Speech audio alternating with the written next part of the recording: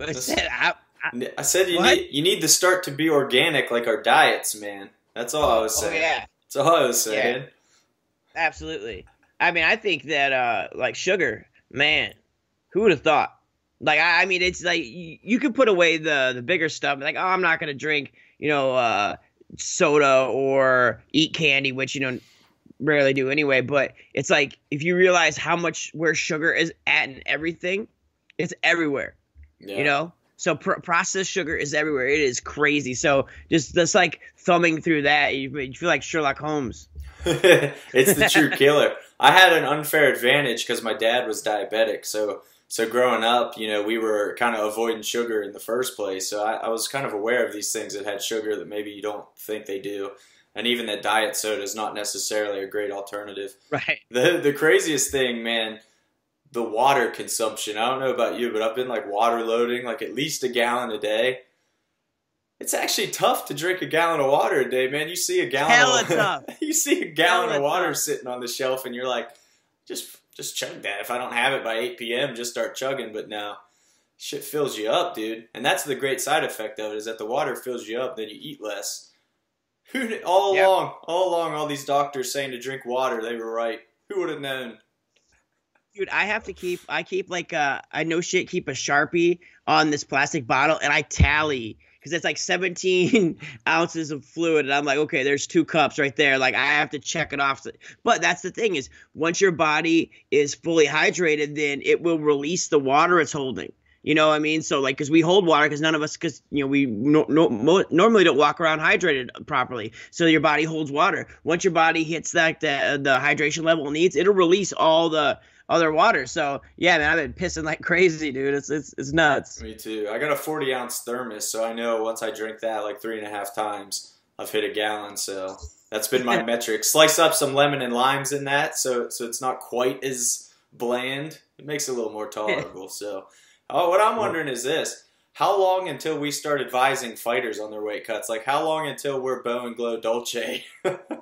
Yeah. Well, let's make this let's make this weight limit first, man. And so let's give these let's give these folks an update. So a week ago, we kicked off on this Bow and Glow Johnny Riggs uh, FloCombat Weight Cut Challenge, and we took we took so we took the the, the journey six weeks 20 pounds and we started last wednesday so today is a full week from when that kicked off and we have some updates for you all right glow go ahead start with start with your progress Seeing it on the scale already, man. I got the scale on day two, so my starting weight was technically my day two weight. So maybe I had been a little heavier at the official start, but uh, I've lost five pounds on the dot as of this morning. So five pounds, seven days. Definitely on track to lose 20 in, in six weeks, and maybe more. Like I said, I started at uh, 234.2. So I think it'd be pretty badass if I could get down to 205 for that light heavyweight championship limit which has like 29, 30 pounds weight loss. So that's that's kind of what I'm angling for now. It's coming off fast. I'm not going to get too cocky, but I am feeling real good about it. And, and, you, you're outpacing me. I think you're even further ahead. So so let them know how old Bo sheds them lbs. I gotta say that's classic glow to go overachiever status anyway. So so there you go, buddy. But yeah, old Bo, old Bo is uh, rocking and rolling. We started at 217 on kickoff day. I am sitting at 207 as this morning, a lean and mean. That's halfway there. So, um, but I do forecast problems in the next few weeks. Um, as as you'll see in the journal, there's been some uh, some temperament issues. So, uh, yeah. So to talk about that, also on FloCombat today, we're to uh, publish our, our journal. Hunter went with the more um, technical side, uh, food plan for the day, what he's been consuming, uh, exercise and whatnot, so you could follow along. Because I know there's uh, plenty of you guys following along, and some even brave enough to do the challenge with us. Bo, on the other hand, I went with the uh, psychological side, so you'll you'll see the uh, up and down roller coaster turn of it all. Hunter, you've had a you've had a pre look at this journal. What do you think? Oh man, I love it, and it it mirrors a lot of what I felt, man, because I love seeing the I love seeing the the tension and that quick temper. I think uh, there's a couple entries there. I'm not gonna spoil anything. There's a couple entries that made me laugh out loud, and it's it's the perfect bow madness where I can't tell if you're exaggerating exactly how bad it is, but I I don't think you are. I think that's all straight off the cuff because I, I know them feels, man. I was at that Steelers game, the Steelers playoff game, and we went to a tailgate, and I I I behaved myself, and it was tough. So I, I know the feeling. I stuck to it despite being at the Steelers tailgate. So I know it's rough, and I think people are going to like these journals and these updates. And we're rolling strong, man. And like you said, everybody else joining in on that hashtag FC Weight Challenge. We appreciate all y'all making that journey. We love to hear from you too, and love to see your progress because we're not in this alone. You know, we inspired a couple of you to, to jump on board. And if you want to get in on late notice, on short notice, and be a real champ, we could do that too, and we'll have you now. Well, I'll tell you, and, and I want to send that what you just said. I want to send that out to the the Johny Hendricks factor because I know when we kicked this off, people gave us a little bit of shit saying, "Well, you know, you guys are, you know, it's harder for an athlete, blah blah." We get all that, but look at this. Glow loves nothing more. He loves his family. He loves his girl. He loves the Pittsburgh Steelers. He's at a damn playoff game, right? Like in Steeler heaven, and there's beer everywhere.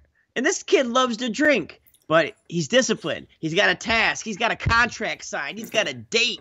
He's sticking to it. So let that be a lesson to you. So once this is all said and done, and all the steaks and and beers and gimmicks that we miss along the way, then it's gonna it's gonna prove a point that if you have six weeks to do something, you, you do it. That's what you got to do. And we're gonna come in lean, mean, and ugly. So uh, we love we love you guys for following along. It's been huge support. Also, before we go, a big shout out to the uh, everybody uh, who who voted and who's going to vote. We're, we're very honored to be nominated for the World MMA Awards for Media Source uh, uh, for Best Media Source FloCombat. Nine months of existence, and we've already made such a big mark. Uh, it's it's humbling to Hunter and I. Um, and the whole staff. We, we we do everything for you, and to see all the the support on on social media has been fantastic. Now go out there and vote. Let's mess around and win this damn thing. I know I know Glow. I know you were you were hanging from the rafters. We're pretty pretty. It's pretty shocking though. I mean we joke around, but it's pretty shocking. I thought it really was, man. It's really cool, and and these aren't. The great thing about this is that when we started FloCombat, you know, we start kind of launching this thing, revving it up we're, the goal was never to get nominated for awards or to win awards, but when something like that pops up, it kind of validates all the hard work you've been doing. Like you said, nine months, nine months, and we're getting nominated alongside Sherdog and MMA Fighting and MMA Junkie, and I think Bloody Elbow was the other one. These people have been in operation. Everybody knows who they are. You know, I know who they are. I can draw their logo off the top of my head. You know, everybody knows what they who they are, what they look like, and what they do. So to even be in that conversation just validates a lot of what we've done. Truly does mean a lot, man, and, and it really, I, I'm sure you feel the same way. Just kind of inspires me to keep pushing harder, keep taking it further and further, and let's see what we can do. And I think this weight cut challenge is cool and, and big for us. Uh, that road trip to be even bigger and cooler for us. I think that's going to blow the lid off some stuff in the MMA space. So man, yeah, just thank you guys for for all the love in that. It, it was really humbling and just awesome. The one thing I will say is I think that uh, we can kind of pat ourselves on the back for and we can take some pride in, is that we did set out when you know when you and I had these conversations early on uh, when we kicked this thing off was that we had to be different, and different doesn't always work in the MMA space, but in this nine months, it's proven that it does work. You know, we don't rehash news. Everything you see on FloCombat is in some form of originality. You know what I mean? So we take we take good pride in that. And that's a that was a big risk for traffic purposes. But you know you guys come there every day you read and share the stories you guys f- give us feedback. And then to see this nomination that's awesome. So the first year was foundation was building. Now we got that foundation built in 2017 we're going to kick the shit out of this thing. We have this weight cut challenge this road trip is going to change everything. It's going to give you guys a totally new access. And we're only five weeks away now five weeks away. So hang with us. That, that, that's uh, let's finish this uh, weight cut challenge up. Stay away from sugar. Hug your kids, and we'll catch up to you. Donkeys. Donkeys. Yeah, but what are you craving the most? You want chocolate? You want pizza? Like what? What would you have right now? A gimmick, dude? No, no, not, I, I haven't. I haven't had a beer craving yet. Uh, the weekend, I thought, man, that would be pretty nice. But I would seriously like molest a cheeseburger right now. molest it. Yeah, like buns and all, like Ooh. like a five like a Five Guys burger. Straight they would find they'd find me throwing the fucking bow sausage at it. Straight in the buns. Oh man, that's sounded so wrong, so beyond but wrong. Ch- chocolate too at night. Do you get like what are you craving?